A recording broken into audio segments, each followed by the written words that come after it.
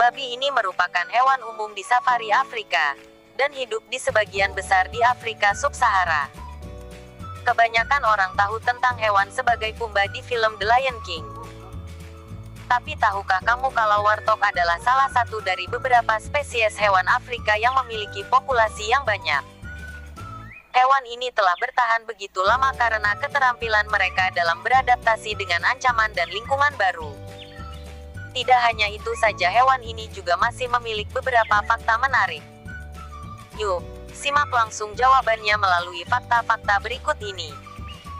Menurut penelitian dari Kebun Binatang San Diego, panjang taring hewan ini bisa tumbuh hingga 10-11 inci, 25 hingga 30 cm.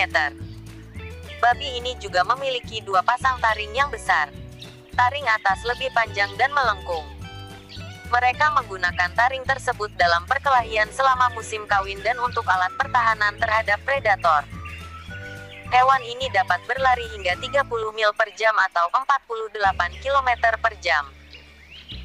Saat berlari, ekornya akan berdiri tegak, dan ketika dalam bahaya, hewan-hewan ini lebih memilih untuk berlari daripada berkelahi. Kecepatan tersebut sangat membantu hewan ini untuk lari dari predator. Babi ini adalah satu-satunya babi yang dapat bertahan hidup di daerah yang panas tanpa air selama beberapa bulan, karena tubuh mereka dapat menjaga kelembaban.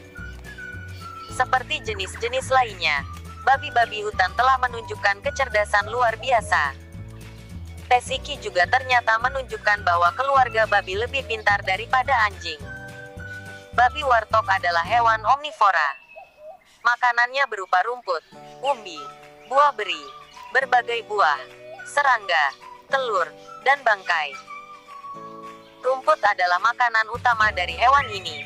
Tetapi para ahli marga satwa juga mengamati bahwa mereka juga bisa membunuh dan memakan ular.